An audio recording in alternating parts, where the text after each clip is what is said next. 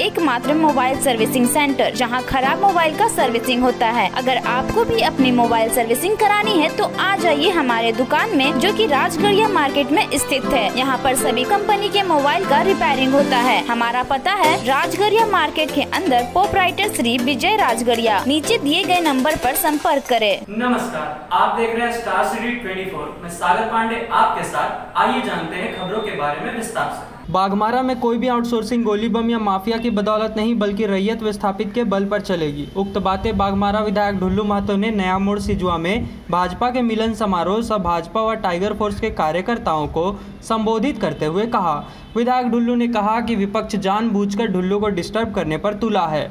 चुन चुन कर मेरे व भाजपा कार्यकर्ताओं के घर गोली बम चलाया जा रहा है। जब गोली बम चलती है तो कोई बयान क्यों नहीं देते हैं? इन दिनों बागमारा में यह क्या हो रहा है? मैं पूछना चाहता हूँ, इनका असली चेहरा अब जनता जान चुकी है। जलेश्वर पहले बैंक डकैती करता था, मैं जनता की बदौलत चुनाव में हैट्रिक किया।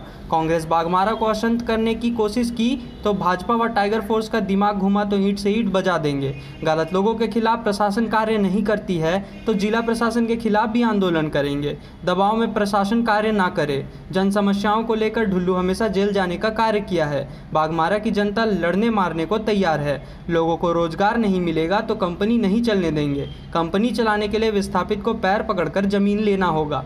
गोली बम की बदौलत कोई आउटसोर्सिंग नहीं चलने देंगे। गोली बम चलाने वालों को प्रशासन जेल भेजे। ज़रूरत पड़ी तो सड़क से सदन तक आंदोलन करेंगे। मौके पर एटक के असंगठित संघ के क्षेत्रीय अध्यक्ष राजेश सिंह, उपेंद्र सिंह, चिंटू सिंह, अरुण सिंह, सोनू सिंह, चुन्नू सिंह, शिवम सिंह आदि मौजूद थे।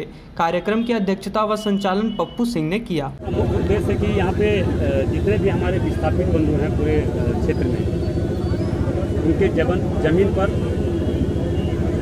मतलब जबरन माफिया और गुंडा के बदौलत, राखल और बंदूक के बदौलत कार्य करना चाहता है। इसका रहती ज़मीन? क्योंकि आप आए दिन देखते होंगे कि गोली और बम चलने का मुख्य कारण यही है कि गोली बम हम चला देंगे तो विस्थापित लोग डर जाएँगे, यहाँ के बेरोजगार डर जाएँगे। और गोली बम चलाने का नेतृत्व यहाँ के पूर्व विधायक जलेश्वर महतो जी कर रहे हैं। जलेश्वर महतो जब से कांग्रेस में गया, आप देख लीजिए, इसका रिपोर्ट निकाल के देख लीजिए, जिला प्रशासन का होगा। पचासों पर गोली और बम चलाया चलाया जा चुका है। हम उसका तो लिस्ट भी जारी कर चुके थे कि दिनेश रवानी के यहाँ गोली चलाया गया, पचासों गोली चलाया गया, अनिल रविदास के यहाँ गोली चलाया गया, निश्चितपुर में गोली और बम का बरसात हुआ, जोगता में गोली और बम का बरसात हुआ, अभय सिंह के यहाँ गोली चला, राजेश गुप्ता के यहाँ गोली चला, फिर एक महीना बाद उस राजेश गुप्ता के यहाँ बम चला, उसके बाद सोनाडी में हाईवा पर गोली और बम चला, फुलारी कांड में गोली और बम चला, सीएसएफ पर गोली और बम चला, फुलारी कांड में मतलब कई जगह उसका कोई अनगिनत मतलब उसका गिनती नहीं किया जा सकता है। आए दिन क्राइम बढ़ता जा रहा है और इसका नेतृत्व यहाँ के पूर्व विधायक जलेश्वर माथुर जी द्वारा किया जा रहा है। क्योंकि आप जानते हैं या नहीं जानते मैं बता देना चाहता हूँ, उनका बैक इतिहास बैक इतिहास से क्राइम करना बैंक डकैती करना, रोड छीनते करना, बस छीनते करना, उनका इतिहास आप पता कर लीजिए, यहाँ के पुराने लोग जानते होंगे, उनका अगर आप बोलिएगा तो उसका केस नंबर भी हम एक दो दे सकते हैं। केस नंबर क्या क्या है था केस नंबर हम बता देंगे क्योंकि हम रखे हुए केस नंबर आपको जिस दिन बोलिएगा हम प्रेस कॉन्फ्रेंस में देंगे। मगर आप आए दिन आप तो देख रहे हैं एक भी स्टेटमेंट नहीं है। बाघमारा में इतना गोली और बम चल रहा है उसका नेतृत्व वो कर रहे हैं नहीं करता तो उसका तो स्टेटमेंट देता कि जो गोली और बम चला रहा है उसका फांसी होना चाहिए उसको जेल जाना चाहिए उसको सजा होना चाहिए। क्यों नहीं आज तक एक स्टेटमेंट दिया? जब भारतीय जनता पार्टी की सरकार झारखंड प्रदेश में था उस समय गोली बम नहीं चल रहा था। उसके बाद भी इन लोग एक गिरोह बनाकर जलेश्वर महतो पूर्व विधायक गोपीलाल विजय झा इन लोग एक गिरोह बनाकर बाघमारा को अशांत करने के लिए बाघमारा का नाम क्या क्या देता था? बाघमारा में अशांत। बाघमारा में आतंक राज मगर जब गोली और बम नहीं चल रहा था तो बाघमारा को आतंक राज का दर्जा दिया गया था। मगर आज आए दिन गोली और बम चलाया जा रहा कांग्रेस के कुछ लो, लो, लोगों के द्वारा गुंडा के द्वारा क्रिमिनल के द्वारा करवाया जा रहा है या कर रहा है? तो इसका जवाब क्यों नहीं दे रहा है कि मेरे लोग नहीं है? उस पर सजा होना चाहिए उस पर केस होना चाहिए? उस पर फांसी होना चाहिए। आए दिन गोली और बम चल रहा है यहाँ के प्रतिनिधित्व करने का सोच रखे हैं। ये तो राज- राजनीतिक कांग्रेस के लोग ने उसको ऐसे लोगों को सहयोग कर रहा तभी ना। आज कांग्रेस कांग्रेस पर गोली चला रहा निश्चितपुर में कांग्रेस कांग्रेस पर गोली चला चौकता में कांग्रेस कांग्रेस पर गोली चला।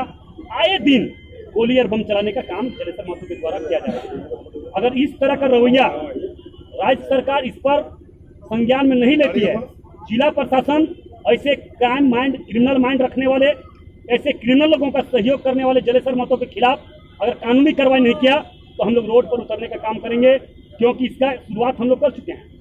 ये अशांत हम लोग किसी भी कीमत पर धनबाद को नहीं होने देंगे।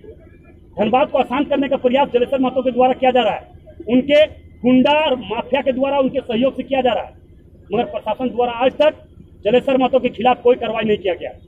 मगर आपने आए दिन कुछ दिन पहले, आज आठ महीना, नौ महीना पहले देखे कि ठुल्लू महतो कितना बड़ा क्रिमिनल है कि पंद्रह दिन में पंद्रह केस किया?